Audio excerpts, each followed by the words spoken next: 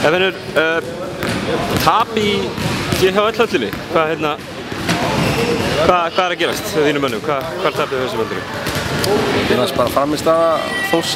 að þórsleisins eiga síður, síður skilin en framistæða okkar var ekki ásættanleg og, og, og, og við erum bara undir í baróttinu, eitthvað sem á ekki gerast og, og, og svolítið litlir höttir í ykkur það var bara ástæða tapsins held ég bara. Nú hérna kemur Pavel inn í síðasta leikja okkur og, og fyrir meittir út af í, í þessu leikja, er eitthvað fréttir að því hvað? Nei, en ég er svo sem veit gaf mikið á þyrunur, hann er hann, hann, hann dettur út eftir nokkra mínútur og, og, svo, já,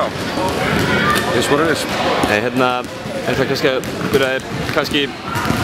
er ykkur riðlæðist hópurinn hefur eitthvað við það að hann var að koma inn eða? Já, já, eðlilega, menna, við erum búin að undirbúa hann að leika að Pavel sé að byrja og, og, og það er öðru sér, svo strákarna að vita það að þeir eru hlutaklega sem eru og svona, þetta er strákar sem er búin að spila margir mjög vel í allan, allan að þessum leikinn hinga til og kannski svona kannski, þú veist, það er alveg eðlilegt að strákar þetta hans niður og, og, og en það sem ekki óanar með að það voru margir í liðinu sem að svona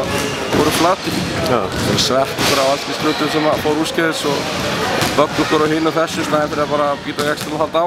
já, hluti sem að mér fannst ég náma lægin á milli en það duttur svo að það er svona greifin aftur þannig að var það Nú hérna, byrju, hafið byrjað þetta móta ja, miklum krafti. Og ég meina þráttur að einhverju leikmanni hafa verið meittir og annað eða það hafið sínt, já, sínt stórgóðan leik ef svo maður komast. Að hérna, hvað þurfum við að gera til þess að, já, ég meina, tappa ekki fyrir gnúpverðum í byggarnum til þess að koma okkur aftur á, á brautina bara? Leggja ykkur fram, Já, gera eitthvað besta. Einbyrta sér að liðinu og hérna gera þetta saman. Það er alltaf verið upplegið hjá okkur og, og, og minna, við verðum að við,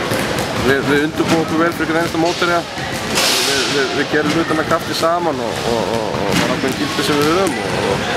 við þurftum ekki að vera að sinna þeim gildum í dag og þá kannski þá fáum við bara sparkir þessi